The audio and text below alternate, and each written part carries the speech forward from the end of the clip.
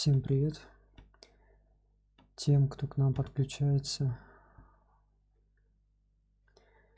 Сегодня вебинар у нас будет посвящен программе Archicad. Меня зовут Максим. То есть я на самом деле занимаюсь проектированием не только в Rhino и Grassi, я также являюсь пользователем Archicad. И сейчас у нас э, начинается серия как раз таки по использованию данной программы. Надеюсь, что все хорошо со звуком. Если что, напишите, если есть какие-то проблемы.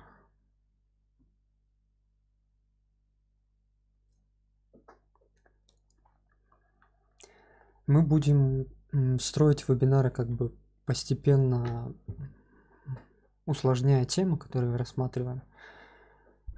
Также у нас будет на следующей неделе вебинар, э, на котором я подробнее расскажу именно о своей практике, покажу какой-нибудь рабочий проект, как он выполнен в Архикаде, из каких он состоит частей, как там решались разные задачи.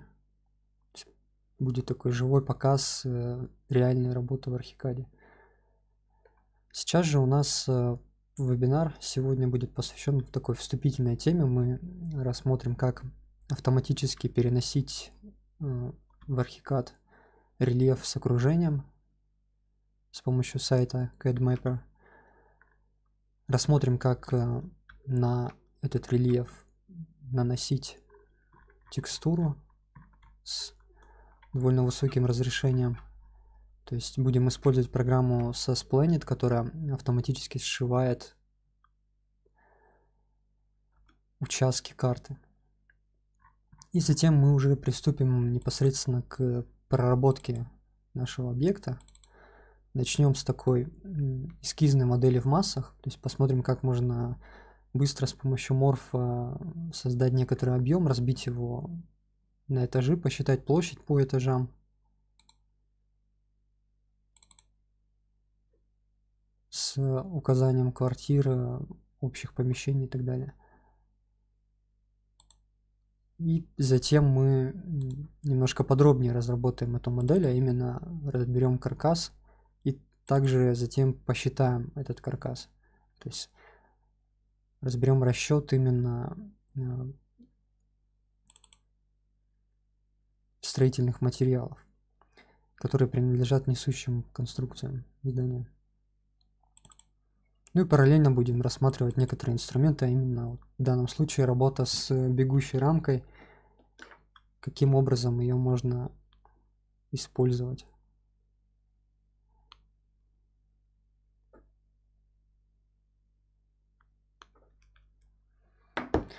Также смотрите, поскольку у нас это первый вебинар по программе Archicad, просьба от вас обязательно пишите темы, которые вы хотели бы разбирать.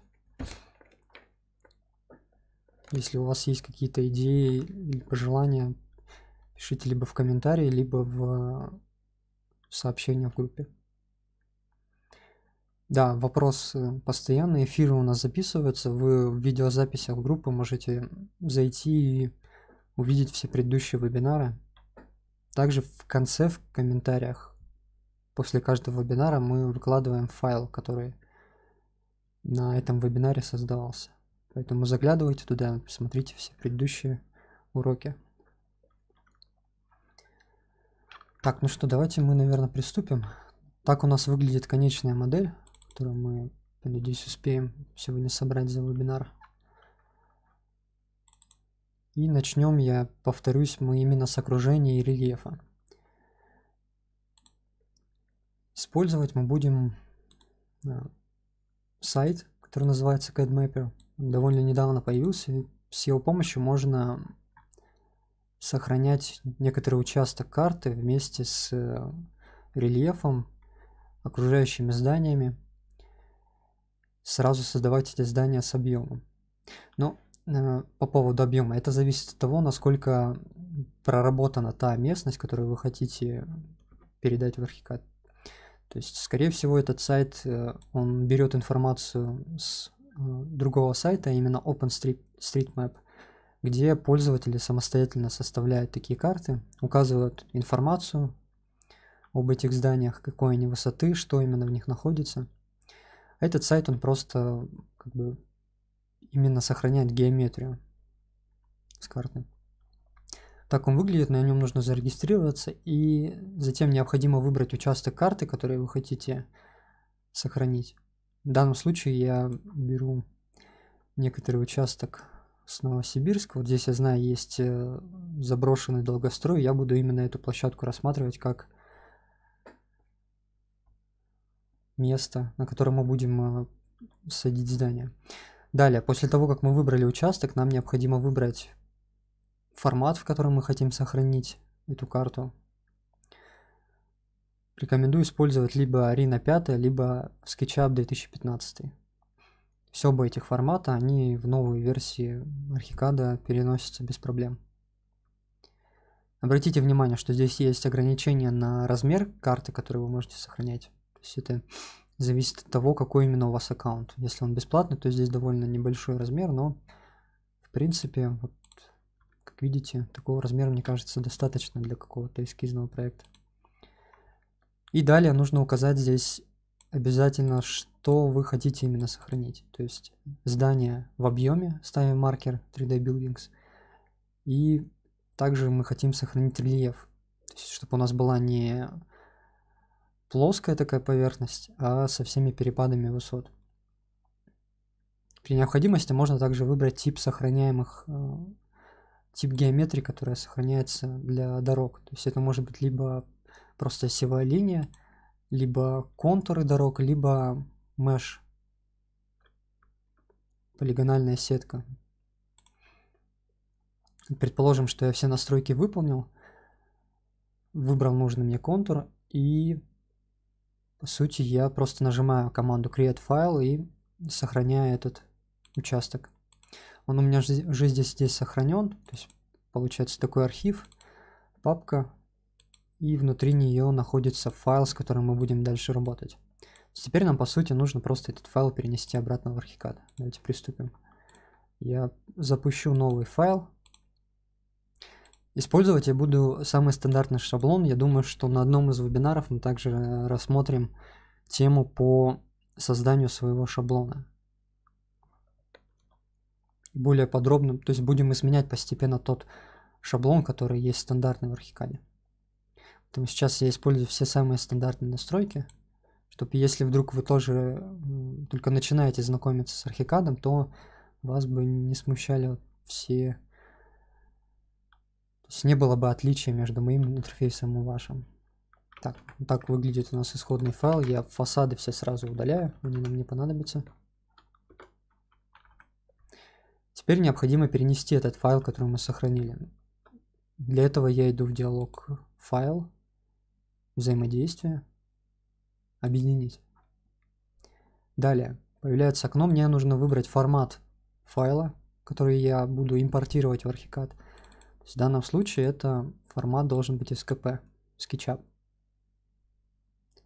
Нахожу этот формат, отлично, выбираю файл и нажимаю команду «Открыть». Да, вот здесь появляется окно, поскольку этот сайт CADMapper, он вместе с геометрией сохраняет также и координаты этой сетки, то здесь можно выбрать, как именно поступить с этими координатами. Можно либо их игнорировать, либо вставить в текущий проект. Давайте на, выберем команду «Заменить расположение объекта» из тех координат, которые пришли вместе с файлом. Вот отлично. Появляется у нас контур, который обозначает эту геометрию, которую мы вставляем. Я э, размещаю вот в, в начале проекта эту сетку. Отлично. Вот в плане у нас уже есть отображение некоторой геометрии. Давайте нажмем команду F5, чтобы перейти в окно перспективы. И затем я нажимаю два раза на колесо мыши, чтобы отмасштабироваться по всем видимым объектам. Либо в левой нижней части экрана нажимаю команду по размеру окна. Отлично. И вот таким образом выглядит у нас та геометрия, которую мы получили с помощью этого сайта. По сути, сейчас это просто библиотечный объект. Здесь есть вот такая сетка, есть осевые линии дорог и есть здание с определенной высотой. Ну, и без проблем, мне кажется, эти форматы вы можете Елена и в 3D Max экспортировать.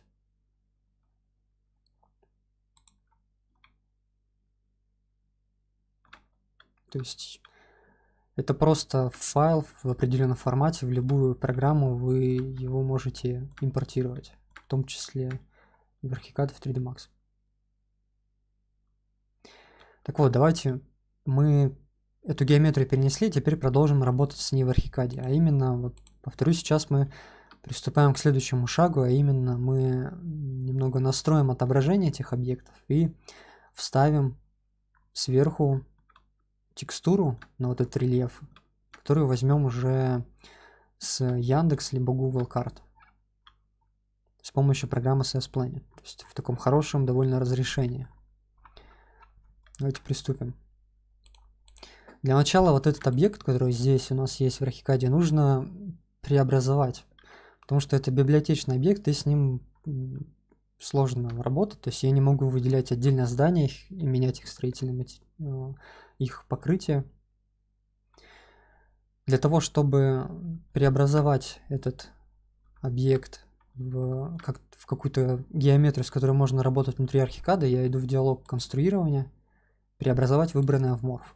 Нажимаю ОК. И теперь у меня вместо библиотечного объекта появились морф элементы. Да, Андрей, повторюсь, вебинары все в записи, смотрите в видеозаписях группа. Так вот, теперь с этой mesh, да, с этим морфом мы можем уже работать, а конкретно выделять отдельные элементы. Можно делать это через... Да, у нас... Я пытаюсь выделить какое-нибудь здание, у меня выделяются сразу все эти морфы, нужно проверить команду под названием «временно разгруппировать». Если ее активировать, то тогда я смогу выделять отдельные объекты, которые находятся в этой группе. То есть отдельные здания, как-то с ними работать. Либо можно все эти объекты разгруппировать. То есть снимаем команду, снимаем маркер «временно разгруппировать». Теперь у нас опять выделяются при одном щелчке все объекты. И можно нажать сочетание клавиш Ctrl-Alt-P так, сейчас. Ну, точнее, да. Редактор, группировка, разгруппировать Ctrl-Shift, немножко не та команда, Ctrl-Shift-P, и тогда мы можем, то есть мы эти объекты все разгруппировали, теперь даже без маркера временная разгруппировка, можно отдельно их выделять. Есть каждое здание, например, вы, если знаете, какие они по функциональному назначению на вашем вот этом участке, который вы захватываете, вы можете, например, по типу функций назначить им э, соответствующее покрытие, либо в какой-то своей логике их изменить. Также давайте уберем вот эти линии, которые у нас здесь остались от дорог, они нам в принципе не понадобятся. Я предлагаю их удалить следующим способом. Мы, чтобы их выделить, вместо того, чтобы вот поодиночке как-то перетыкивать с зажатой клавишей Shift, это будет очень долго, мы воспользуемся функцией, которая есть в Архикаде, называется «найти и выбрать». То есть мы можем по определенным критериям выбирать объекты в рабочем пространстве. Чтобы вызвать это, эту функцию, я нажимаю сочетание клавиш Ctrl-F окно это появилось. Теперь мне нужно как бы задать параметры, по которым я фильтрую объекты. Можно нажать клавишу Shift и вот скопировать свойства какого-то объекта. Например, я щелкну по, по морфу, у меня здесь первый критерий выбора, он изменился. То есть теперь я выбираю э, именно грани морфа. То есть вот есть тип, критерий называется тип элемента, значение стоит грань морфа. Я могу раскрыть свит свиток и выбрать другой тип элемента, например, ребро морфа. То есть вот эти э, линии, которые обозначают оси дорог, это по сути просто ребра. То есть выбираю тип элемента ребро морфа, и теперь, чтобы все эти ребра выделить, нужно просто нажать на знак плюса в правой нижней части этого окна. Так, нет. попробуем по-другому. Выберем именно грань морфа. Да, вот у нас выделились как раз-таки все именно грани. Если выбрать просто морф, да, то тогда у нас выделяются и дороги. То есть вот эти осевые линии. Попробуем выбрать именно все-таки просто грань.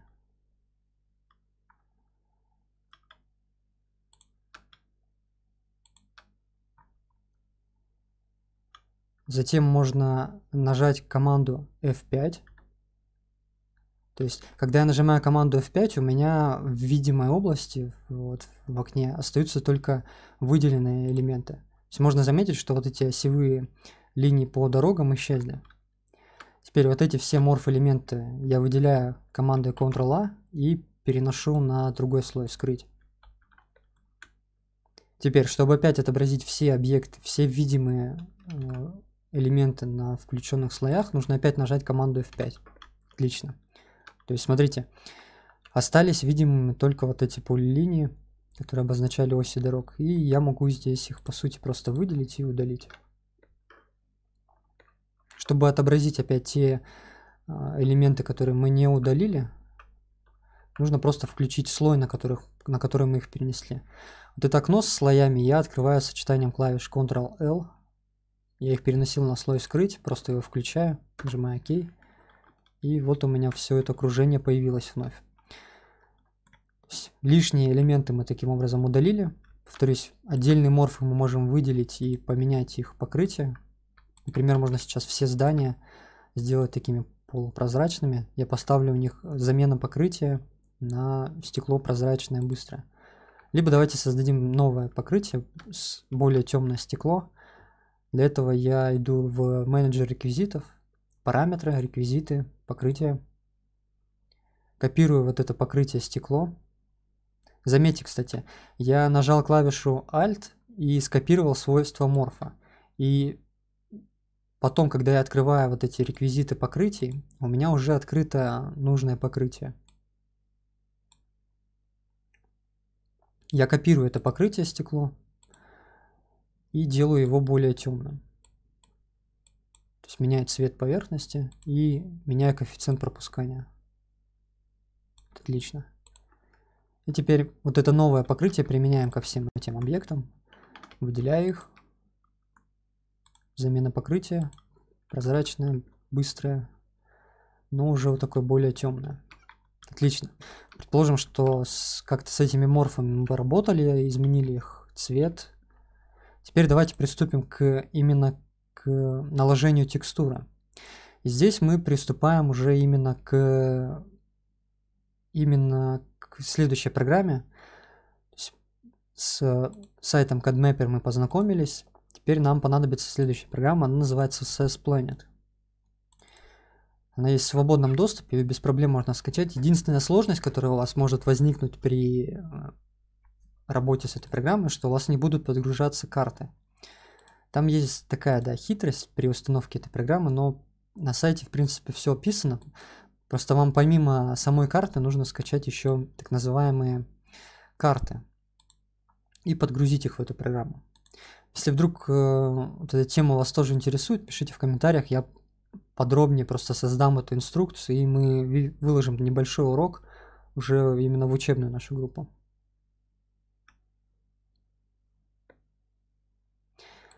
Так вот, мы эту программу SAS Planet запустили. Предположим, что у нас уже все эти карты подгружены. Я выбрал э, карты Яндекса. Можно заметить то, что я приближаюсь. Все довольно четко отображается.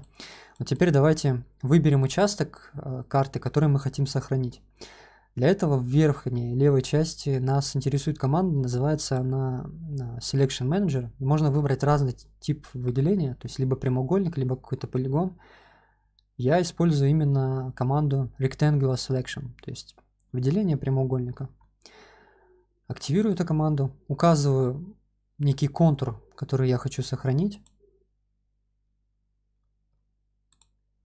Так. Момент. Немножко... Да, вот. После этого у меня появляется окно, которая, с помощью которого я могу выбрать, что именно с этим контуром делать. Я хочу этот контур сохранить вот со всеми этими картами. Мне нужно для этого перейти на свиток Switch, выбрать формат, затем нужно указать напротив строчки Save to место, куда мы сохраняем этот файл и его название, примерно рабочий стол 01, карта назовем.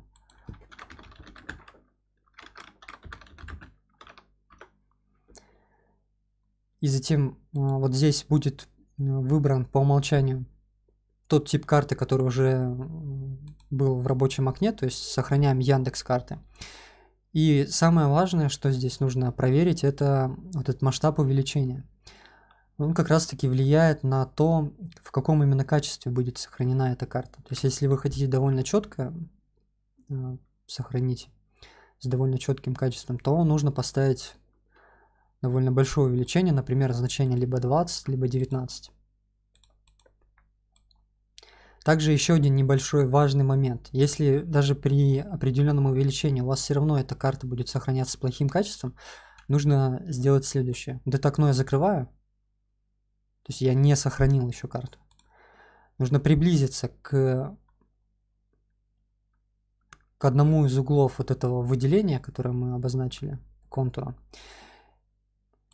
и, скажем так, обновить вот эту всю карту путем перемещения по ней. Все так, перемещаясь вверх, слева направо, потом чуть выше опять змейкой. То есть обновляя все вот эти отдельные кусочки карты и затем вновь э, запускаю сохранение этого контура. Для этого я иду опять вот в эту иконку с выделением, раскрываю свиток и выбираю команду Last Selection, то есть работать с предыдущим контуром. Опять появилось это окно свиток слич, то есть сшить эти участки. Нажимаю, да, опять меняю масштаб. И нажимаю старт. Вот происходит как бы сшивание вот этих отдельных кусочков, и у нас в итоге появляется такая карта, с которой мы можем дальше работать. Вот у нее вес 4,3 мегабайта, и можно приблизиться и проверить, да, устраивает ли вас качество сохраненного изображения. В принципе, меня устраивает. Если что, можно опять, опять же прогнать ее через какие-нибудь э, редакторы, повысить яркость или еще что-то сделать на ваше усмотрение. Отлично, у нас текстура есть, и давайте теперь ее перенесем в архикад и наложим на нашу на наш вот этот морф, который обозначает рельеф. Да, забыл уточнить, что у нас рельеф, он, видите, он перенес со всеми высотами.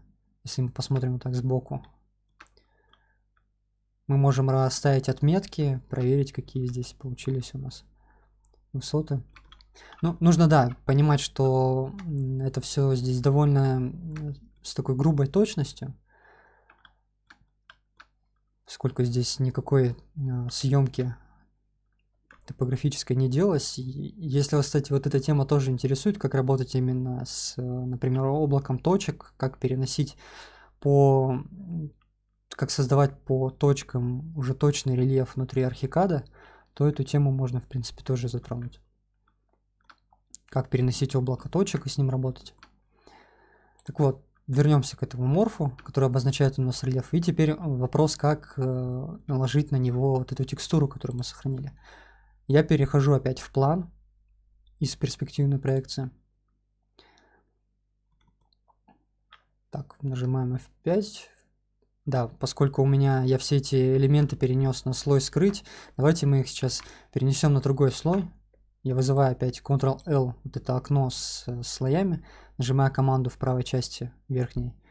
Новый слой, называю его 0.1 вариант. И вот эти все морф-элементы выделяю командой Ctrl-A и переношу их на этот слой через вот это, через панель свойств. Отлично. Теперь у меня все эти морфы находятся на слое 0.1 вариант. Возвращаюсь в план этажа. И здесь включаю этот слой. Опять же через э, панель слоев. Слой 0.1 вариант. Отлично. Вот у нас все эти морф появились. Я сейчас э, поверну эту вот этот контур, поскольку у нас под каким-то таким произвольным углом он здесь находится, мне нужно задать э, направление строго на север. То есть опять нажимаю команду Ctrl, Ctrl-A, чтобы выделить все объекты. И чтобы их повернуть, нажимаю сочетание Ctrl-E. Вот активируется вот эта команда поворота объектов. Я относительно начала проекта, то есть в начале проекта щелкаю левой клавишей, указываю начальную точку, затем задаю начальное направление, выделяю вот этот верхний левый угол, щелкаю по нему и задаю целевое направление, то есть куда мы поворачиваем. Задаю направление строго на север. Окей, наши все объекты повернулись. Теперь давайте сюда же перенесем вот эту карту, которую мы сохранили из программы SAS Planet. Для этого нам нужно, мы можем либо использовать инструмент рисунок, либо инструмент под названием чертеж. Точнее, а, рабочий лист в данном случае. Хотя, извиняюсь, да, перепутал все. Именно инструмент чертеж. Активируем его, щелкаем по свободной области в рабочем окне. И нужно теперь найти вот этот файл, который мы сохранили. Нажимаем, выделяем его, и он у нас переносится на архикад. Я, кстати, я до сих пор не сохранился, я сделаю это на всякий случай.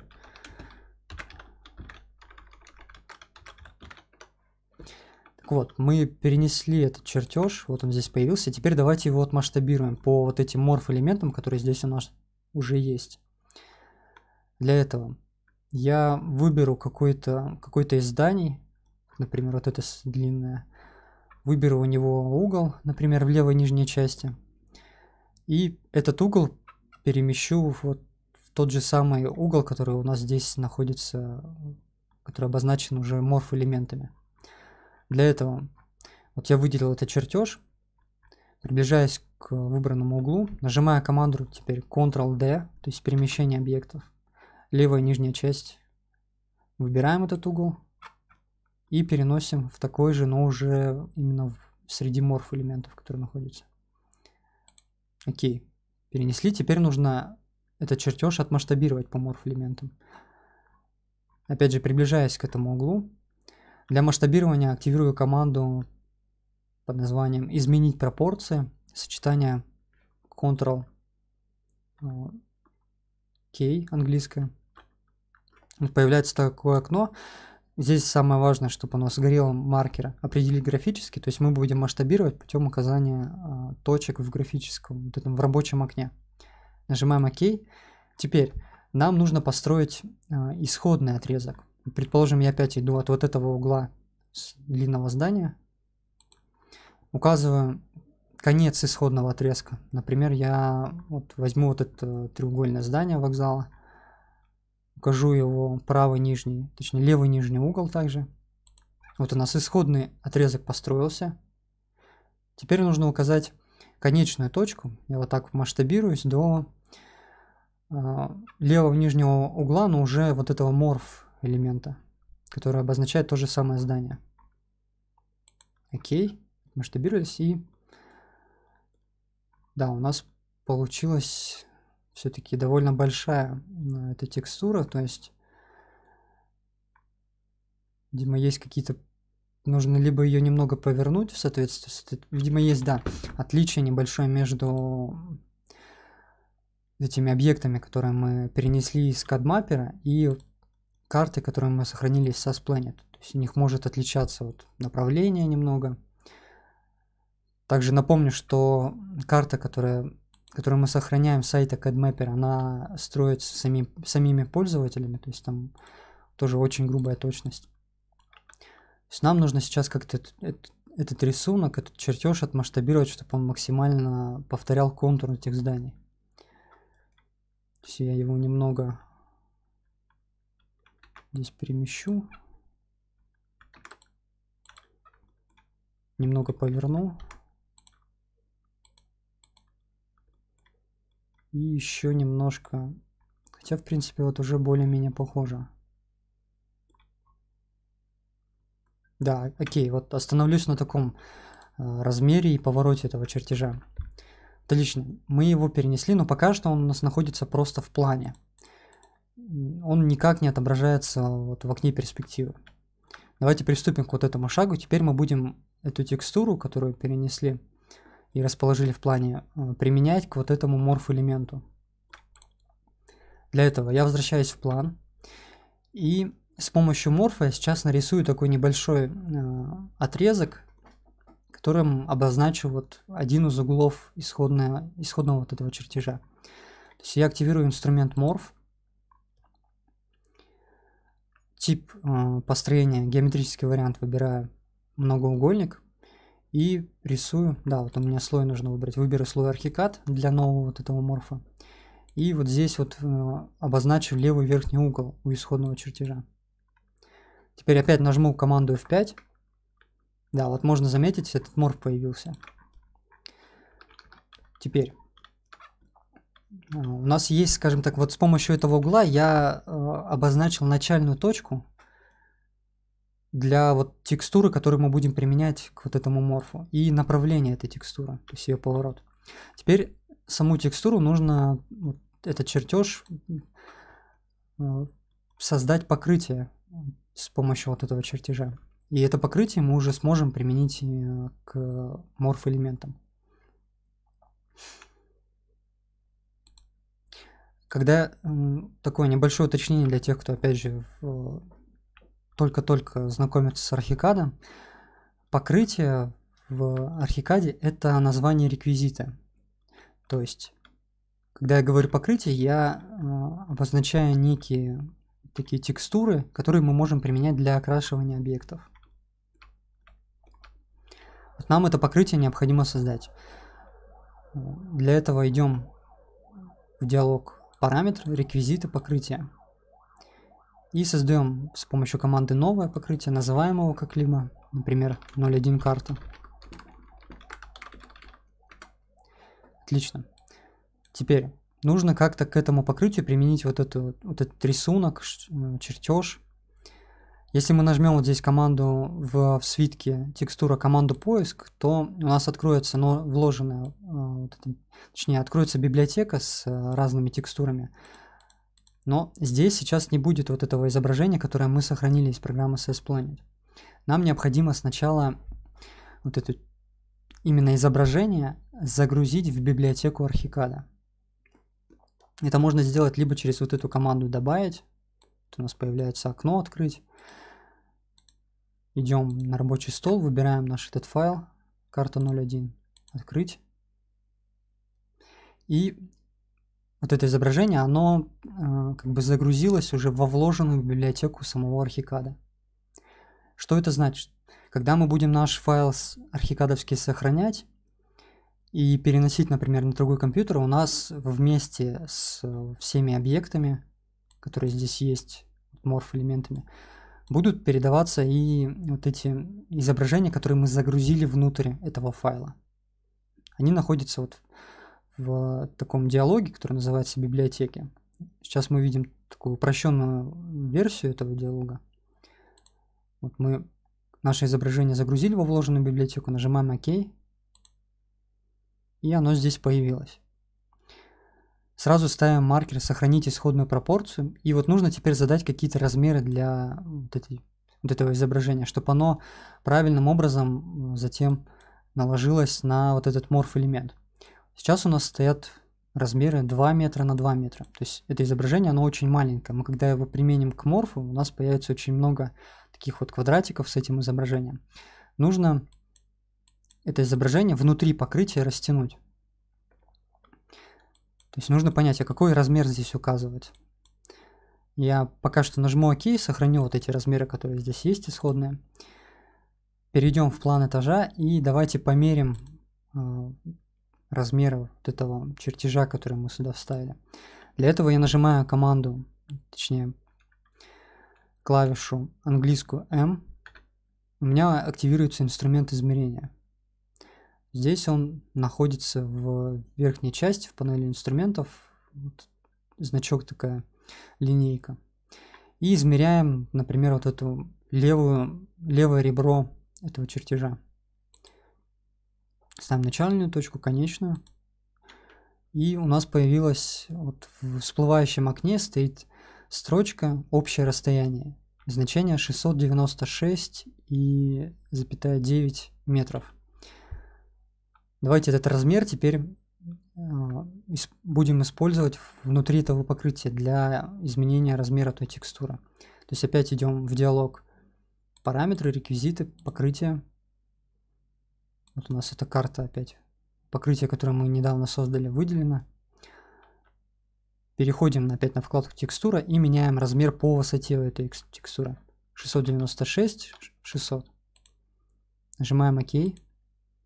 Все, у нас мы покрытие, скажем так, подготовили. Теперь необходимо применить его именно к вот этому морф элементу.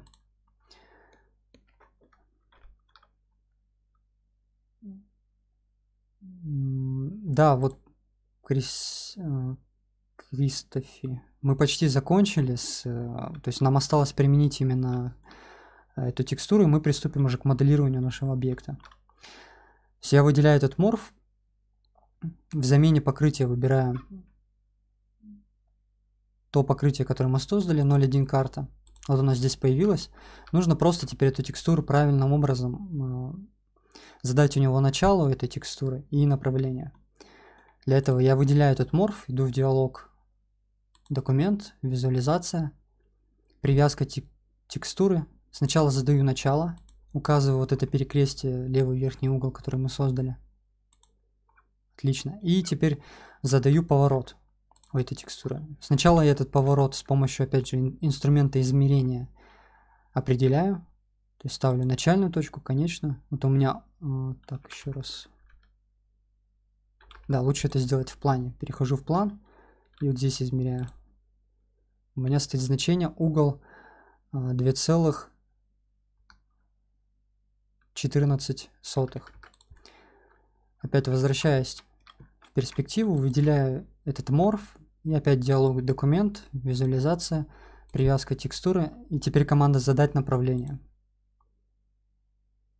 Щелкаю опять по этому морфу, затем маркер определить угол вручную и ставлю вот это значение 2,14. Окей. И у нас эта текстура повернулась на нужное значение. И вот таким образом у нас выглядит эта модель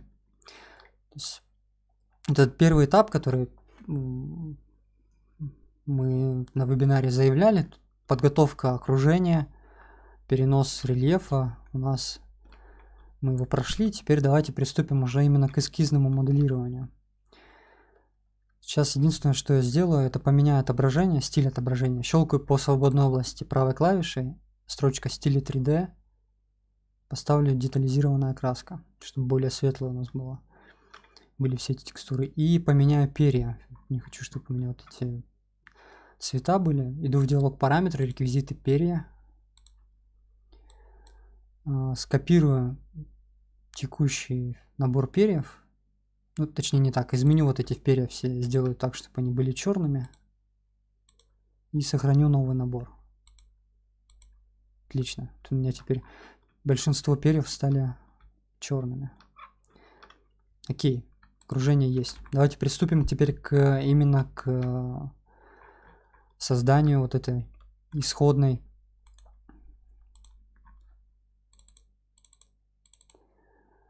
модели в массах. Сейчас мы тоже разберем, создадим в морфов и в морф, морфах и э, разберем тему, как посчитать эти морфы с разбивкой по этажам, то есть площадь по этажам для каждого морфа. Смотрите, у нас эти морфы, они выдавлены на несколько этажей, но при этом мы можем посчитать площадь этого морфа на каждом этаже.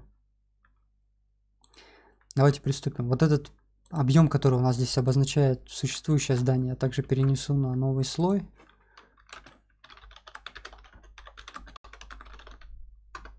Да, вот эта тема со слоями, она тоже требует отдельного рассмотрения. Думаю, мы это сделаем. То есть организация слоев. Сейчас пока что у меня здесь куча слоев, которые пришли со стандартным шаблоном. Окей, нажимаю. И переношу это, этот морф на этот слой. И скрываю этот слой.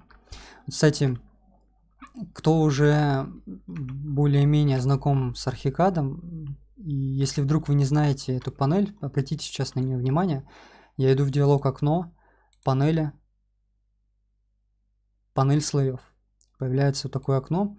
С его помощью можно очень быстро отключать или включать слои выделенных элементов.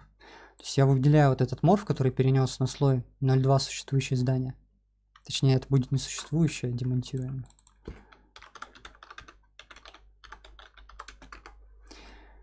И нажимаю у вот, этого, у вот этой панели, которую вызвал, команду «Скрыть слои выбранных элементов». И эти элементы сразу скрываются. Если я нажму иконку назад, то этот слой опять будет включен. Вот исходное здание мы убрали. Теперь давайте приступим к моделированию нашего какого-то эскизного решения. Я приближаюсь вот сюда, к тому участку, в пределах которого мы будем работать. Для начала я расставлю несколько осей. Сейчас выбираю инструмент ось и вот здесь тоже с этим инструментом есть разные способы работы. Можно либо использовать построение по сетке, но, если честно, я чаще выбираю именно такое ручное построение путем переноса каждой оси.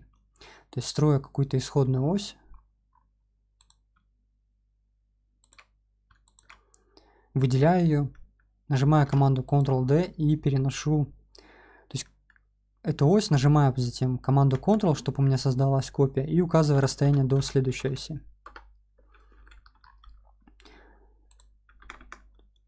Сейчас я, если честно, буду повторять одно решение, может быть кто-то догадается, кто знаком с э, российскими архитекторами, возможно вы угадаете, какое именно здание я буду повторять.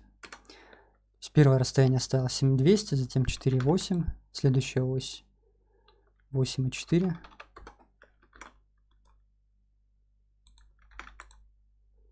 Следующая 4,8, затем 5,4. И последнее расстояние ставим 6 метров. Окей, в одном направлении у нас оси есть, во втором направлении теперь. А, расстояние будет первое 8,4. Затем 200. И опять 8,4. Вот такие у нас исходные оси есть. И в этой сетке мы будем дальше работать. Можно также... Давайте мы все эти оси сейчас обозначим без имени, чтобы они нас пока что на таком эскизе не смущали. Потом мы, когда э, уже утвердим расположение осей, применим к ним обозначение, то есть нумерацию буквенную и цифровую. Сетка есть. Теперь внутри этой сетки я буду создавать морф элементы, сначала плоские, а затем их выдавливать. Вот обратите внимание на исходный пример, который у нас здесь есть. Здесь у меня есть первый этаж с э, общественными с помещениями под аренду. Затем есть второй этаж, он немного будет отличаться от первого. И все последующие этажи мы, они будут иметь одинаковую планировку. Сейчас нам нужно создать будет три группы вот таких морфов. Давайте приступим именно с первого этажа. Иду на первый этаж. Да, вот, кстати, предварительно нам нужно будет эти этажи настроить прежде чем мы начнем работать в этих этажах. Для этого я иду в правой части в карту проекта. Скорее всего, у вас будет в правой верхней части рабочего окна такая иконка. Ее если раскрыть и затем щелкнуть опять по левому верхнему маркеру, то можно активировать команду «Показать организатор». Появится такой организатор. Ну, да, сейчас, наверное, не организатор нам нужен, а показать навигатор. И вот эту панель можно в правой части зафиксировать. Здесь у нас сверху есть маркеры. Выбираем первый карта проекта. Затем раскрываем этажи и создаем нужные нам этажи. То есть правая клавиша по одному из этажей и команда настроить. У меня высота этажей будет 3,3 метра. Ну, точнее, первый этаж я задам высоту 6,6. затем высота 3,3 и копируете этажи вверх с помощью команды поместить над. Создам 11 этажей. 12 для элементов, которые находятся, будут находиться на кровле. Нажимаю ОК. Вот у меня эти этажи в карте проекта появились. Опять возвращаюсь на первый этаж.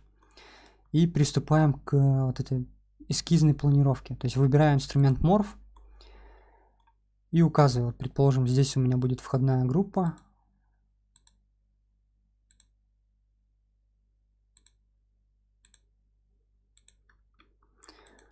Вот этот морф появился, но у него нет никакой штриховки. Давайте ее настроим. То есть зайдем в параметры этого морфа, включим пока штриховки, выберем тип штриховки и перья. Сделаем его такой полупрозрачный.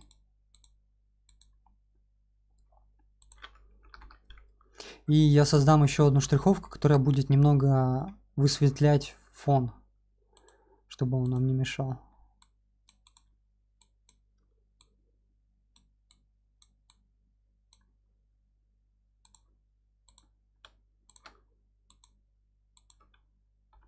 Окей. Вот у нас, допустим, входная группа есть. Здесь у нас будет блок с э, лестнично лестнично-лифтовой. И все остальные помещения мы передадим под аренду. Это на первом этаже будет. Оставшуюся часть я таким образом обозначаю. И вот здесь левое ребро я сделаю полукругом. То есть выделю опять исходный морф, щелкну по левому ребру и выберу команду э, радиус, то есть указание радиуса дуги. И таким образом его создам. То есть такая исходная у нас какая-то планировка есть для, для первого этажа. Сейчас я изменю покрытие, точнее перо Нажимаем опять команду F5, чтобы перенести, э, вернуться в окно перспективы. И здесь мы не видим эти морфы. Да. Все дело в том, что они находятся... У нас, смотрите, те объекты, которые мы перенесли с сайта CatMapper, они находятся на определенной высоте, которая отличается от ноля проекта. То есть вот морфы, они, если их выделить, они здесь находятся под рельефом. У них э, привязка к первому этажу и отметка стоит 0. То есть они находятся точно на ноле проекта. Давайте мы все, все вот это окружение немного опустим, чтобы оно было ниже. Чтобы участок, скажем так, вот основной рельеф вот этого участка, в котором, на котором мы работаем, был чуть ниже ноля чистого, чистой отметки пола. Для этого я выделяю все эти объекты. А, поступлю таким образом. На панели инструментов выберу, выберу инструмент Morph, нажму команду Ctrl-A, чтобы выделить все морфы, и сниму выделение с вот этих морфов, которые мы создали для планировки. Затем нажимаю команду Ctrl-D и немного перемещаю все эти объекты вниз, чтобы у меня появились вот эти морфы. Отлично. Теперь немного выдавливаем их вверх. Выделяю, выбираю команду выдавить и привязываюсь к вот этим этажам, которые у меня здесь появляются при команде выделения. То есть у них будет высота от 0 до 6,6 метров. Отлично. Вот они у нас есть. Можно также изменить их э, покрытие. Вот, предположим, первый этаж мы условно таким образом обозначили. Теперь перемещаемся на второй этаж и здесь также создаем нужную нам планировку. А именно, у нас здесь опять будет лестнично-лифтовой блок с коридорами до квартир.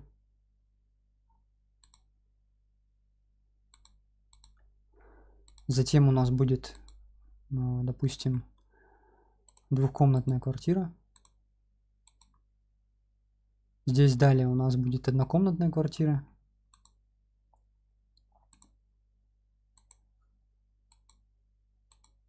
И еще две двухкомнатных. Я включу подсветку первого, хотя нет, она вам здесь в принципе не понадобится. То есть у нас, смотрите, здесь проблема, что вот эта дуга, как ее воссоздать уже ну, вот том месте, где она разбивается на два морфа. То есть я создам вот таким образом первую квартиру.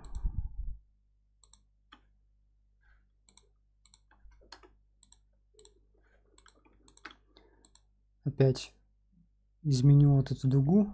Но нужно, да, теперь угадать правильный радиус, чтобы он, э, чтобы вот эта новая дуга на втором этаже повторяла контур э, нижней планировки. Давайте включим подсветку нижнего этажа. Я щелкаю правой клавишей по первому этажу, активирую команду показ в качестве фоновой ссылки. Вот у меня этот контур появился, но он не такой четкий. Мы давайте активируем окно э, фоновая ссылка. Отобразим его. Изменим цвет фоновой ссылки и да, вот если синим сделать, то она будет заметнее. И вот это новое ребро его радиус будем задавать таким образом, чтобы он совпадал с э, нижним контуром.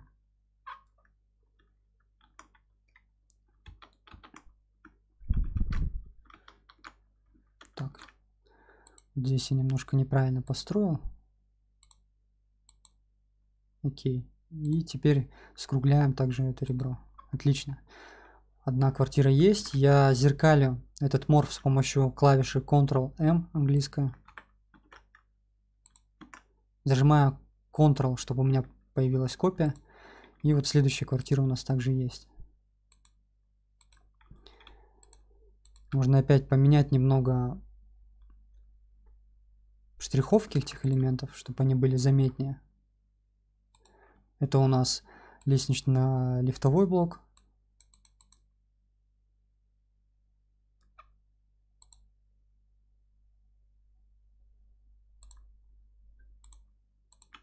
Да, вот смотрите, кто уже более-менее опытный пользователь, он может меня ругать по поводу того, как я пользуюсь первыми.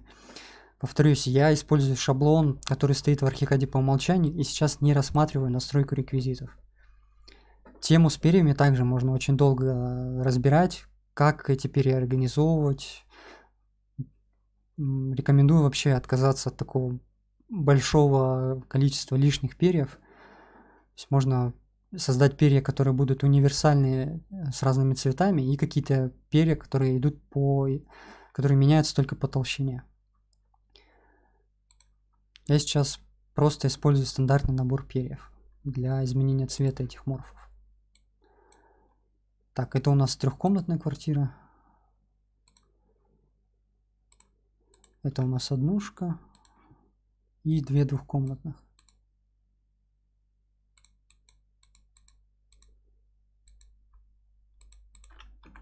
Окей, предположим такое цветовое обозначение.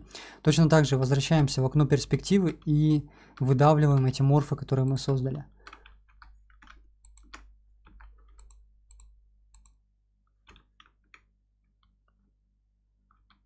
Вот обратите внимание, у нас сейчас вот здесь э, можно заметить такое странное отображение появляется. Все дело в том, что у нас здесь в одном и том же месте находятся два элемента. То есть верхняя грань нижних морфов и вот эти морфы, которые мы создали на втором этаже. Если вы не можете нужный вам объект выделить, то не забывайте про зажатую клавишу Shift и клавишу Tab. С ее помощью можно перебирать объекты, которые вы хотите выделить. То есть мне нужно поймать вот этот верхний морф, который я только что создал. Окей, и выдавливаем его вверх. То же самое здесь. И все оставшиеся морфы также выдавливаем.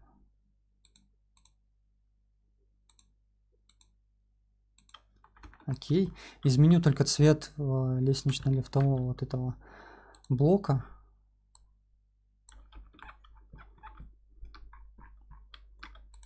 Да, и квартиры я тоже светлыми сделаю, чтобы это было заметнее.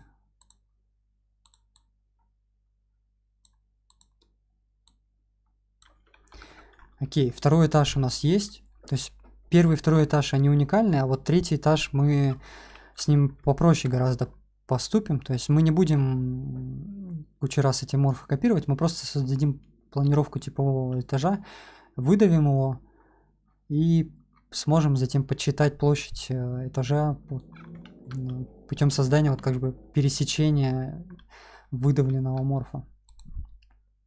То есть возвращаемся опять. Переходим, точнее, на третий этаж и создаем еще одну планировку.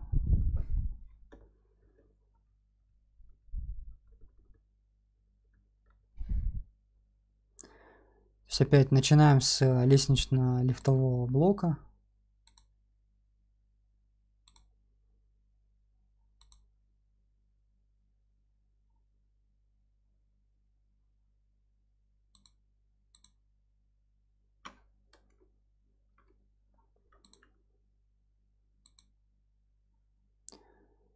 Предположим, вот таких он будет габаритов.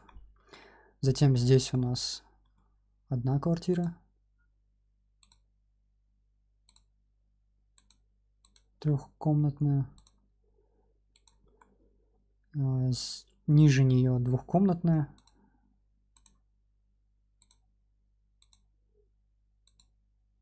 Еще один тоже небольшой такой момент. Если вдруг вы поставили вершину не в том месте – вам не нужно заново этот морф перечерчивать. Не забывайте про клавишу Backspace, то есть клавишу, с помощью которой вы стираете неправильно напечатанные буквы в слое. Когда ее нажимаешь, то происходит отмена последней указанной вершины. Так, есть. Здесь у нас однокомнатная. И останется последняя трехкомнатная. Можно попробовать создать ее с помощью волшебной палочки. То есть у нас здесь по сути есть контур, который подсвечивается с нижнего этажа.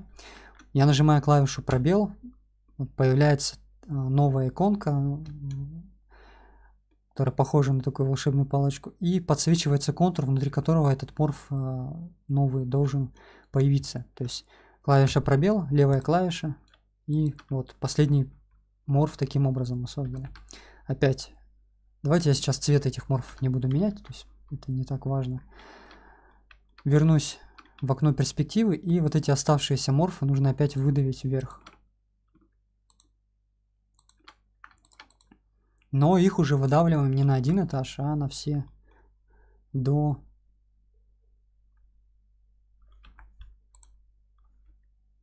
Вот привязываемся до, а, до 11 этажа, получается. То есть вверх последнего морфа это отметка 11 этажа. Да, единственная проблема в таком случае, когда мы создали этот морф с помощью волшебной палочки, что у него, а, видите, появились вот эти ребра. В предыдущих морфах их нет. Если вас они смущают, и вы при подаче хотите от них избавиться, то можно зажать клавишу Ctrl-Shift, по идее, выделить эти ребра, и поставить у них тип отображения невидимое, если вдруг они вас очень сильно смущают.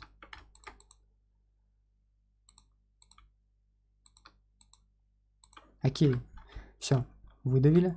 Вот такой у нас эски эскизный вот, объем есть. Вопрос теперь, как э, посчитать площади этажей и для каждого типа квартиры и для общих помещений. Давайте приступим. Самое важное мы по сути сделали. Мы вот этот объем создали, мы расставили правильные этажи на нужных нам отметках. Теперь приступаем к подсчету. Но предварительно давайте мы э, назовем как-то эти морфы, чтобы при составлении площадей мы понимали, какая площадь к какому типу помещения относится. То есть вот это у нас назовем лифты и коридоры. Я обозначение вставляю в ID этого элемента. Это у нас К2, или точнее 2К. Это у нас также пусть будет 2К.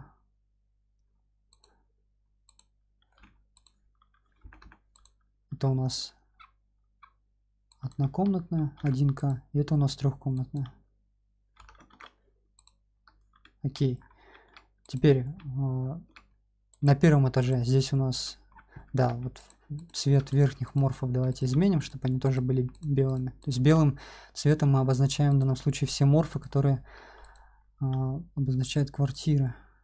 Красным у нас лестнично-лифтовые, синий это помещение под аренду. То есть вот этот нижний морф это аренда. Вот этот морф назовем все-таки холл. Затем на втором этаже нужно вот эти морфы обозначить. Если вам в окне перспективы хочется эти морфы выделить, и чтобы вам верхней части не мешали, можно таким образом поступить. То есть опять, например, вызвать э, клавишей Ctrl-F окно найти и выбрать, зажатой клавишей Alt скопировать свойства морфа на втором этаже, тип элемента поставить морф, затем добавить новый критерий а именно собственный этаж, и с, с, выделить все морфы, которые принадлежат второму этажу.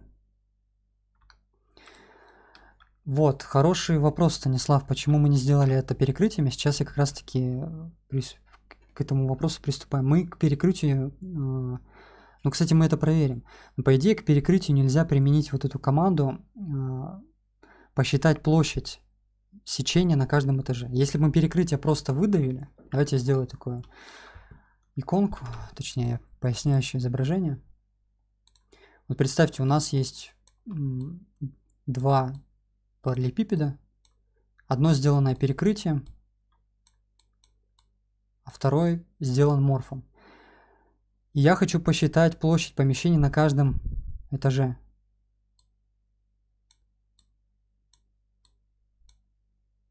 Если я это сделаю перекрытием, то у меня такой операции, такой возможности не будет. А морфы я могу как-то еще изменить. Например, а, сделать такое смещение, чтобы он таким образом кверху, например, расширялся. И посчитать площадь а, на каждом этаже у этого морфа. Вот именно для этого мы используем именно морфа. Сейчас вот вы прям наглядно это увидите. Мне осталось э, добавить имена этим морфам. Здесь у нас опять лифты и коридоры. Да, кстати, что у меня же есть исходный файл. Вот давайте мы на нем примере. Сейчас я покажу, к чему мы идем. Включу опять вариант 1. Вот так выглядит исходные решение, к которому мы сейчас идем. И смотрите, у меня есть возможность отобразить площадь этого морфа на каждом этаже с помощью составления соответствующего каталога. То есть вот первый этаж, у меня всего было два морфа, на втором этаже тоже отдельные морфы, а вот далее с третьего по одиннадцатый этаж мы выдавливали эти морфы на всю высоту.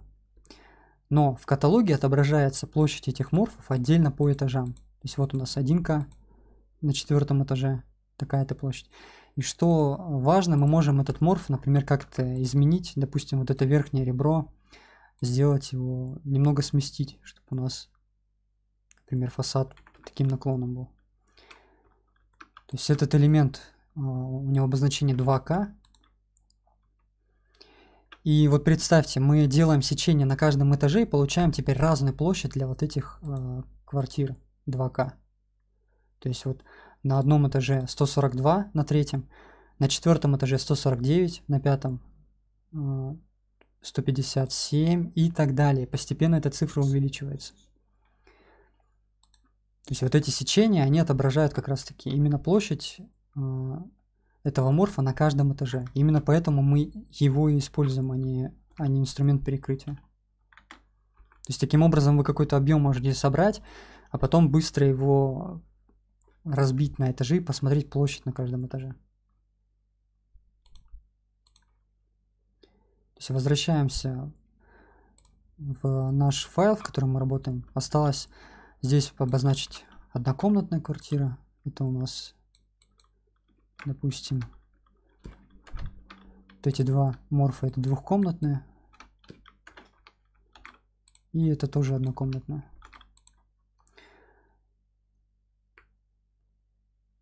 По поводу рендера, я, кстати, хотел в открытых вебинарах начать рассматривать связку архикада и корон рендера. Вы наверняка знаете, что корона уже встроена в архикад, и ее можно прям из архикада запускать. Если эта тема интересует, мы можем ее, кстати, тоже на вебинарах начать рассматривать. Архикад плюс корона. Так, все морфы мы обозначили, имена им присвоили. Давайте приступим к составлению этого каталога. Для этого в карте проекта я иду на свиток каталоги, щелкаю правой клавишей, выбираю команду «Новый», обозначаю его, например, площадь по этажам. Теперь нужно выбрать критерии, по которым я выделяю объекты. То есть тип элемента морфы. И добавим тип, э, новый критерий слой. И выберем все морфы, которые на сло... находятся на слое 0.1 вариант. Окей, теперь выбираем параметры, которые мы хотим у этих морфов отобразить. То есть мы сначала назначили критерии, по которым вы, мы выделяем объекты. То есть мы выделяем морфы на слое 0, э, на слое 0.1 вариант. Теперь выбираем параметры, которые мы хотим у этих морфов отобразить. То есть щелкаем в нижней части команду «Добавить поле», «Морф». Нас интересует вот эта команда, этот параметр, точнее площадь по этажам. Окей. Теперь также добавим э, ID элемента и имя собственного этажа. Ну, точнее, нам нужен номер собственного этажа.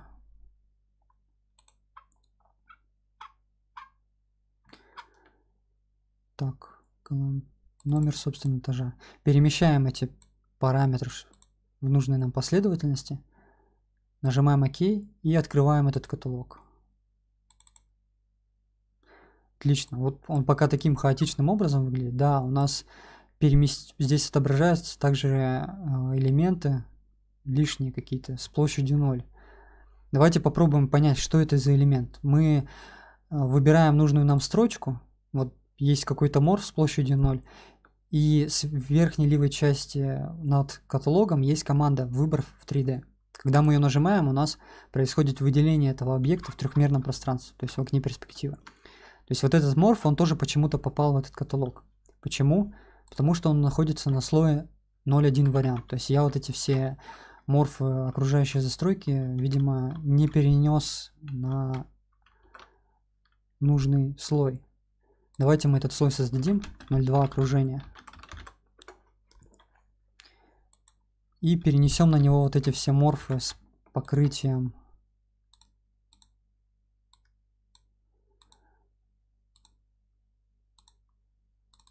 стекло прозрачное, темное.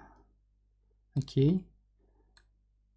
То есть вы на слой окружения сразу скрываем этот слой, чтобы проверить, все ли правильно. Это тоже рельеф тоже на слой окружения. Отлично. Опять включаем этот слой, возвращаемся в каталог.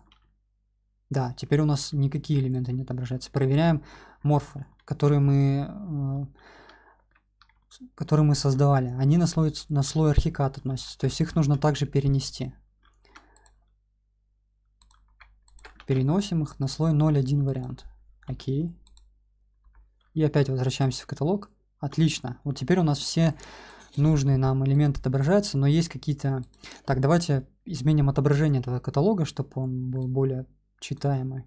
Я скрою верхний заголовок, поменяю ширину строчек.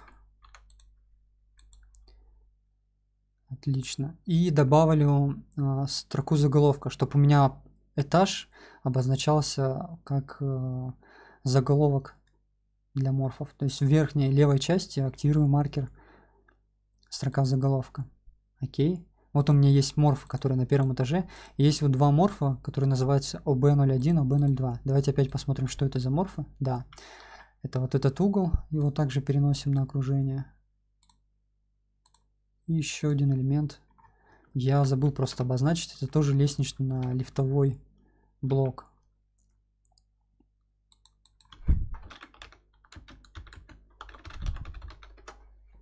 Отлично.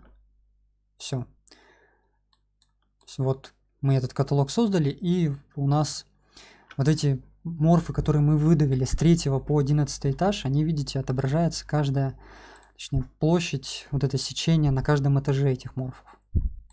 Не нужно как, как перекрытие копировать их кучу раз или там как э, зоны их копировать. То есть при таком каком-то эскизном предварительном варианте можно просто может сразу на все этажи выдавить и получить разбивку по этажам. Затем можно их суммировать и общую площадь получить. Окей. Предположим, что вот этот этап мы с вами тоже прошли. А, какое-то эскизное решение утвердили. И теперь давайте... Ну, кстати, да, у нас э, немножко, мне кажется, затягивается вебинар. Смотрите, еще есть а, небольшая тема, которую я хотел затронуть, а именно уже подсчет строительных материалов. То есть создать каркас здания, который бы вот так выглядел и его посчитать именно, да, разобрать тему, которая называется показ, неполный показ конструкции. То есть, видите, у меня здесь есть многослойные стены. Я включаю отображение только несущих элементов каждой стены и как посчитать строительный, э, скажем так, объем именно вот этих железобетонных элементов. Давайте вот эту вот часть я сейчас здесь э, разберу именно вот в исходном файле, но если вас это интересует, то потом мы, я думаю, эту тему также разберем. То есть мне нужна какая-то сейчас реакция от вас, продолжать ли вот так же дотошно каждый этап показывать, либо вот создание каталога и тему с неполным показом рассмотреть уже на том примере, который у нас здесь есть готово. Вопрос. Для вас самая лучшая версия архикада какая? Сейчас я в 22 версии. В каждой версии какие-то новые функции появляются и приходится обновляться, чтобы э, эти функции использовать и изучать.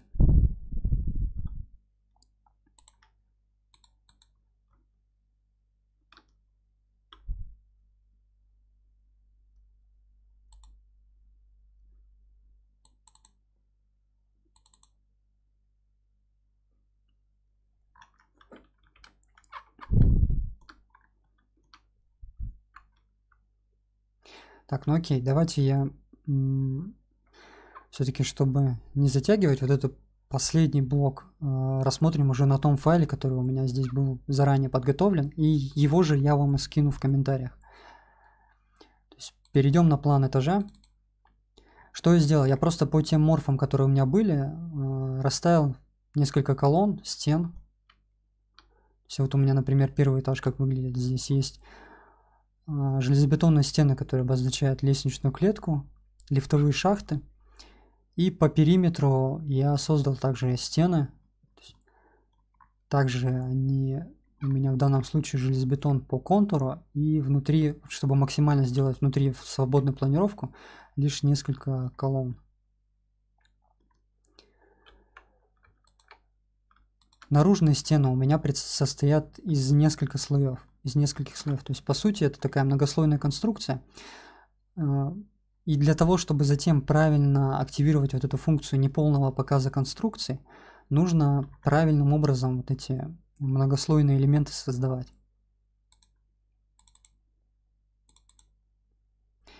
Как это делается? То есть давайте вот вернемся в план этажа. Здесь мы видим многослойная стена и давайте повторим ее создание. Для этого я иду в диалог параметры, реквизиты, многослойной конструкции. Либо я могу изменить э, текущую многослойную стенку, щелкнуть по ней правой клавишей и активировать команду «Редактировать выбранную многослойную конструкцию». Вот появляется такое окно. В нем я могу создавать новые конструкции, выбирать текущие, редактировать существующие. Давайте нажмем команду «Дубликат» и создадим, например, наружная стена 02. Так вот, на что нужно обратить внимание, чтобы затем правильно активировалась вот эта функция неполного показа? Нужно обращать внимание на тип э, вот этих слоев. То есть мы здесь указали несколько слоев. Ниж, нижний железобетон, то есть снизу у нас идут, скажем так, внутренние э, слои и кверху наружные.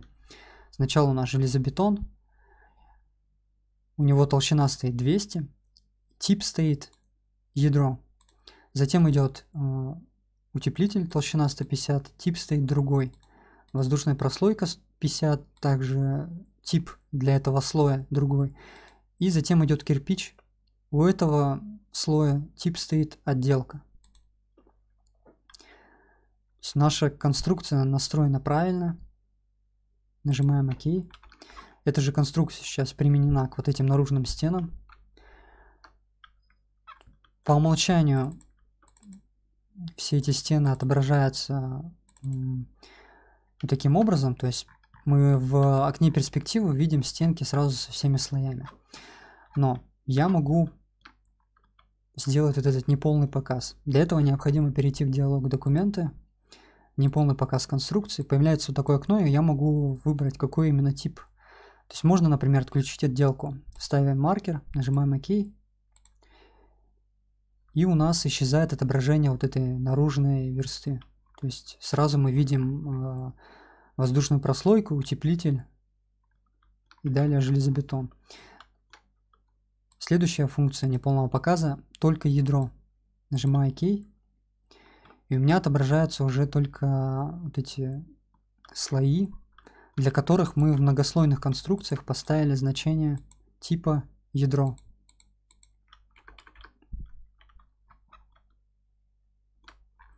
Внутри также там вот отображается... Да, вот смотрите, я нажал команду E, чтобы включить э, облет модели. Здесь появляется такое окно, я ставлю сразу маркер «Не приводить эту информацию». Вот я сюда влетаю, здесь я тоже вижу вот эти железобетонные стенки который обозначает лифтовую шахту, а, лестнично-лифтовой узел шахты. Если я опять включу полный показ конструкции,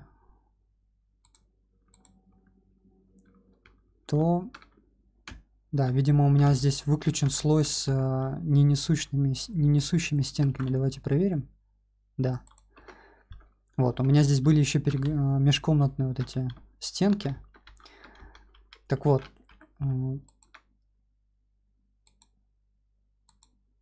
Если я активирую опять показ, неполный показ, только ядро, то вот эти стенки межкомнатные, они никуда не исчезнут.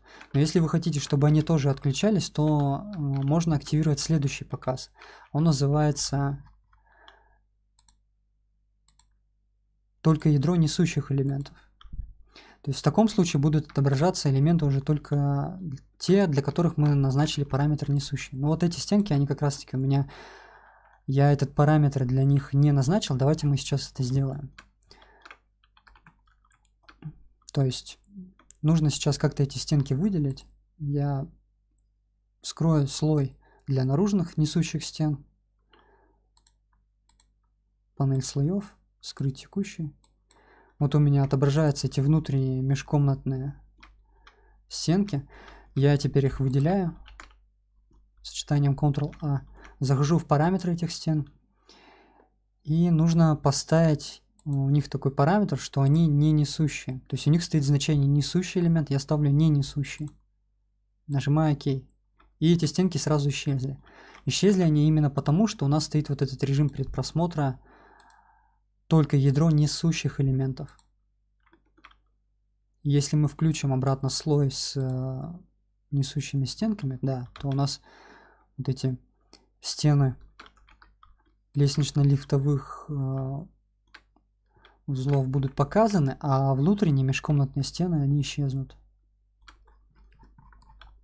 То есть, если вы хотите вот этой функции в полной мере пользоваться, то обращайте внимание на вот эти моменты, а именно правильное создание многослойной конструкции по типам для каждого слоя. И не забывайте про разбивку элементов по тому, несущий этот элемент или не несущий.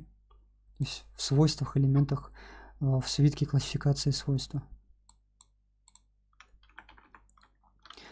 Вот что касается этой функции, предположим, что мы правильно все эти строительные материалы создали, Давайте теперь также рассмотрим подсчет именно строительных материалов. Вот у нас опять такая какая-то эскизная модель появилась уже, э, планировка с разбивкой стен несущих и стен между квартирами. Теперь вопрос. Вот, предположим, мы хотим почитать, какой у нас получается объем строительных материалов. Как это сделать?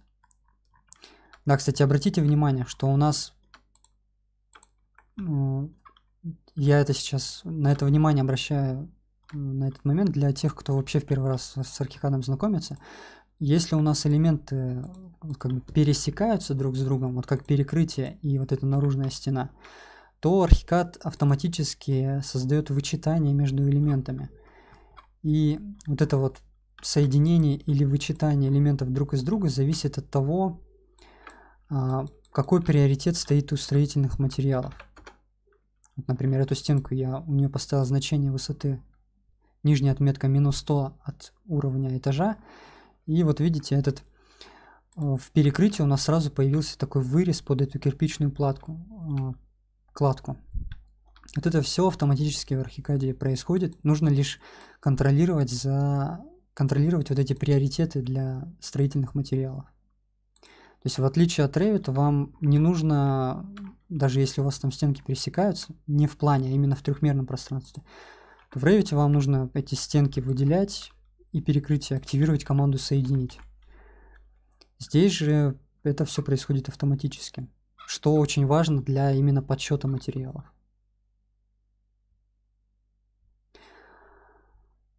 Если честно, не скажу тебе, Михаил, почему. Просто, видимо, привычка, что здесь очень много разных функций. То есть я просто, да, не привык не ее использовать. Так вот, предположим, что мы нашу модель правильно создали, у нас все строительные материалы настроены. Давайте приступим к подсчету этих строительных материалов. Для этого мне нужно создать новый каталог. То есть я иду в карту проекта. Теперь мы будем создавать э, каталог немножко другого типа, а именно каталог по компонентам. Щелкаем правой клавишей, новый каталог. И вот здесь нужно выбрать тип компоненты. Называем его, например, объем железобетона. Нажимаем ОК. Теперь опять э, выбираем критерии, по которым мы выделяем объекты. А, в данном случае мы выделяем просто все объекты, у которых есть строительный материал железобетон. То есть тип элементов все типы. Затем еще один критерий. Критерий по материалу, по покрытию материала, выбираю строительный материал. Затем выбираю его, железобетон. Окей. Критерий выбора мы настроили. То есть все элементы, которым назначен строительный материал железобетон. И теперь выбираем параметры, которые мы хотим отобразить. То есть в данном случае нам необходимо отобразить э, имя строительного материала, затем объем компонента, то есть раскрываем все эти компоненты, объем слоя компонента. И по идее это будет, этого будет достаточно. Мы можем также, например, разбивку по этажам, но я думаю, это будет лишнее. Можем разбивку по типам еще добавить, то есть вы сколько у нас железобетона уходит на колонны, на перекрытие, на стены. То есть еще одно поле. Сверху общие данные, тип. И перемещаем тип наверх. Нажимаем ОК и открываем этот каталог.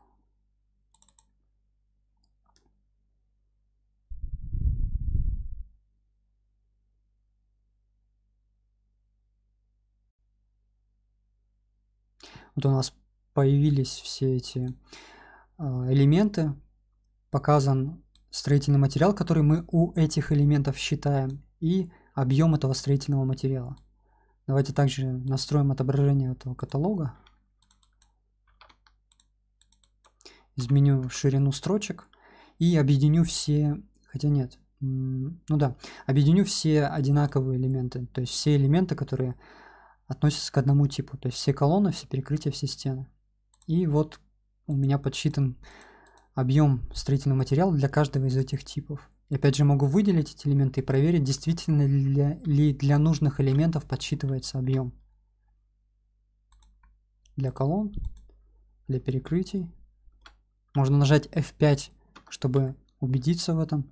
Да, отображаются у нас все слои, но нужно понимать, что, что подсчитывается именно вот этот слой, э, который мы выбрали.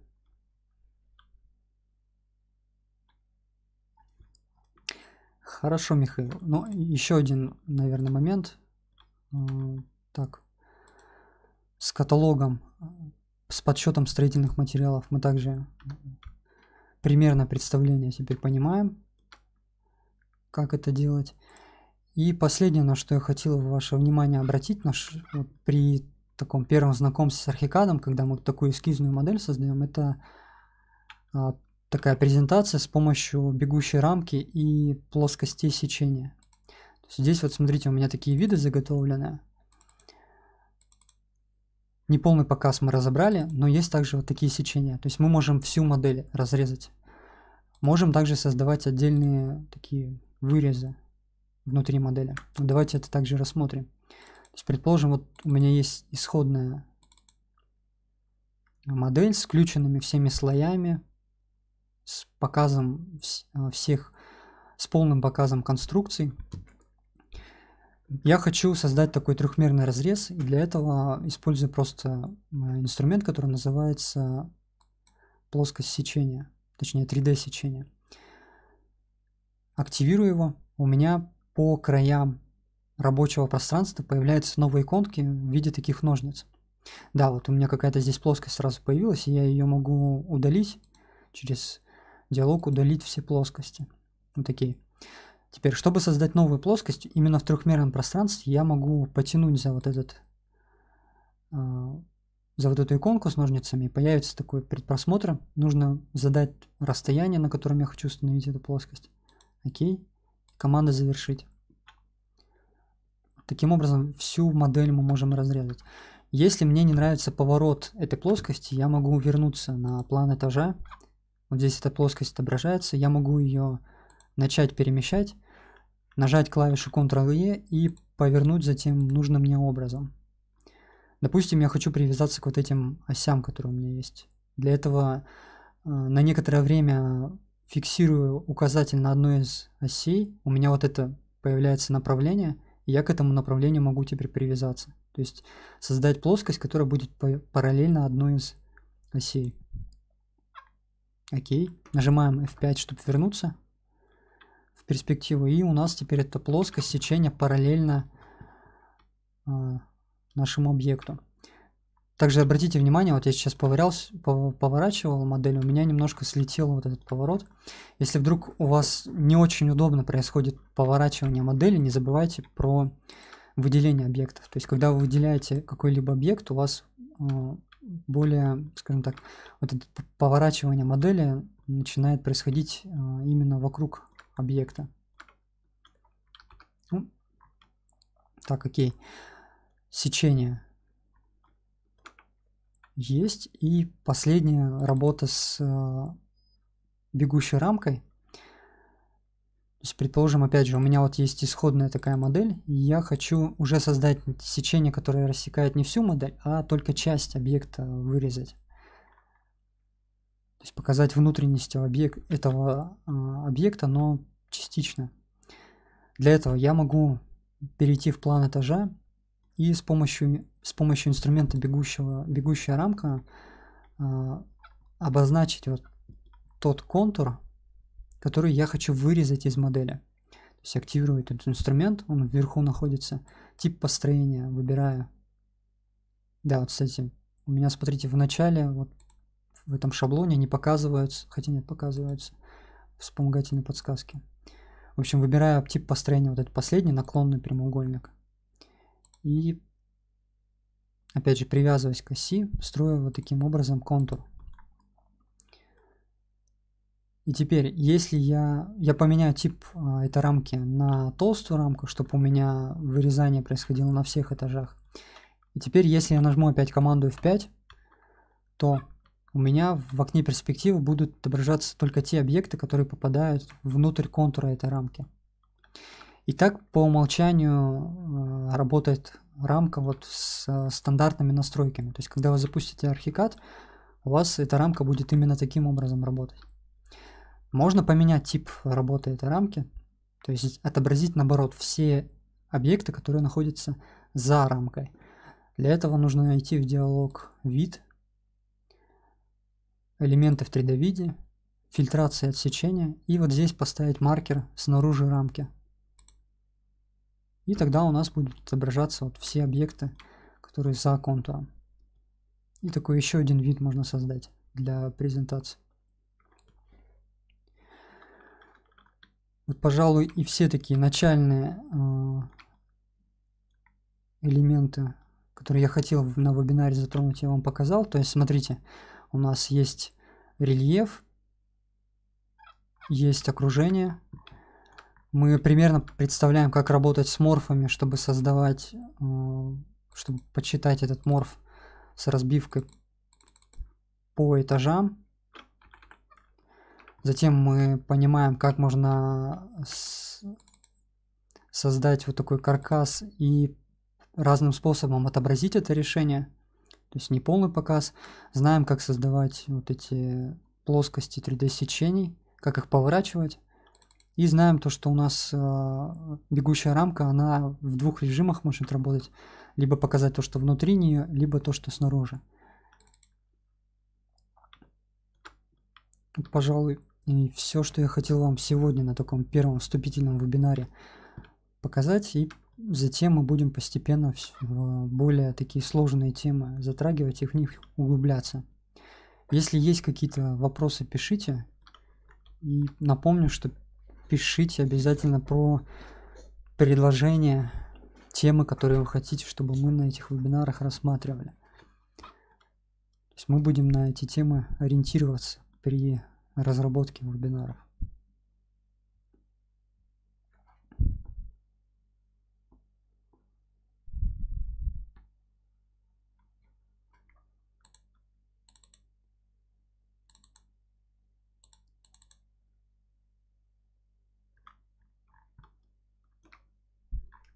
Да, вот здесь у меня эти стенки, которые внутри, мне все-таки не нравится, что их нужно опустить на 100 миллиметров вниз. Я сейчас это сделаю.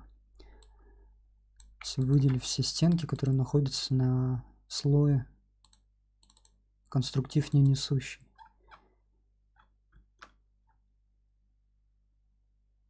Отключу показ бегущей рамки выделю опять эти стены и привязку у них поставлю минус 100 и проверим. Да отлично. Вот теперь эти все стенки у меня опускаются именно до железобетонного перекрытия.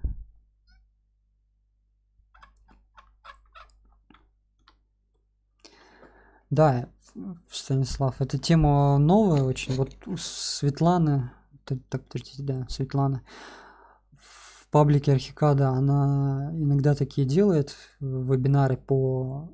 Кстати, недавно совсем у нее вышел по связке с короной. Но хочется, да, подробнее это, рас, это рассмотреть, связку. К тому же они еще и разрабатывают, то есть я вот надеюсь, что они подключат создание травы автоматической с помощью этой связки. Поскольку есть определенная сложность э, внутри архикада это делать.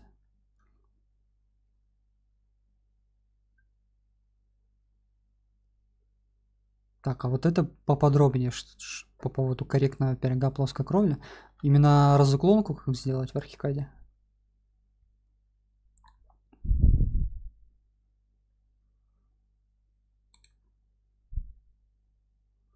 Станислав пишет.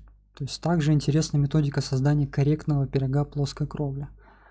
Если речь именно о разуклонке, то здесь, да, два варианта. Либо использование инструмент, да, 3D сетка, но тогда у нас проблема будет с указанием уклонов.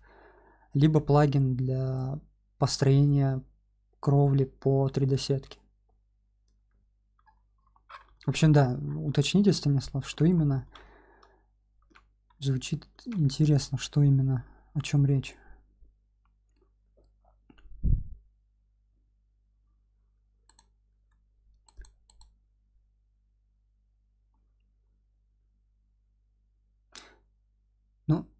Повторюсь, основных два способа, насколько я помню, это как мы, точнее, используем в практике, это либо 3D-сетка, либо построение крыш из 3D-сетки.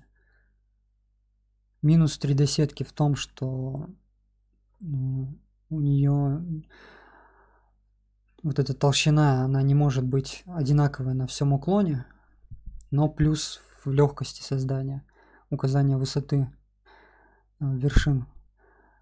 А плюс э, создание по, с помощью инструмента крыши, этой разуклонки, то, что мы потом можем и повешать маркеры обозначения уклона, и нужную ширину задать. Если она где-то одинаковая, то она будет одинаковая.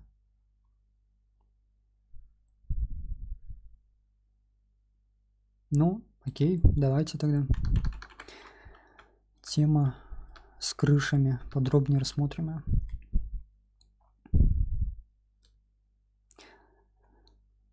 Так, ну окей, если вопросов у нас пока что особо нет, то обязательно пишите их нам в группу.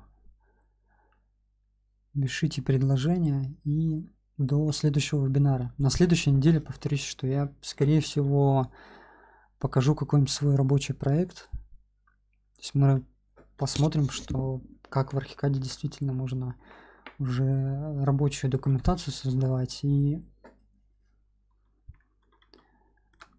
то есть покажу вам и реализованный объект, и документацию по этому объекту и как это выглядит внутри архикада. У меня единственная дилемма э, как-то причесывать эту модель или показать вам действительно со всеми там шероховатостями. То есть вот, всегда критически я вам рекомендую к таким вебинарам относиться, то что есть такие, понятное дело, очень продающие вебинары, когда вам показывают очень яркую картинку работы в программе, что все гладко, но на самом деле это действительно не так. Когда вы вживую с программой работаете, особенно когда у вас есть срок определенный, вы какие-то решения можете делать упрощенно, лишь бы они быстрее, скажем так, выдавали нужную документацию, которая затем идет на стройку и способствует реализации объекта. Я, наверное, вам покажу именно вот модель рабочую со всеми шероховатостями.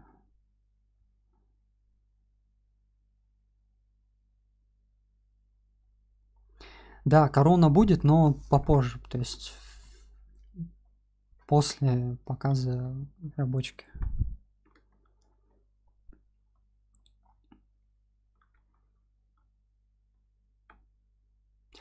Так, ну, окей. Тогда до следующего вебинара. Все, всем пока. Да, спасибо, что были с нами. Привет тем, кто будет нас в записи смотреть. Файл, повторюсь, сейчас закину в комментарии.